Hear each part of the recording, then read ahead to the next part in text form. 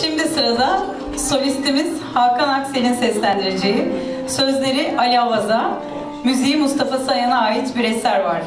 Tanrı istemezse yaprak düşmezmiş ve Hakan Aksel.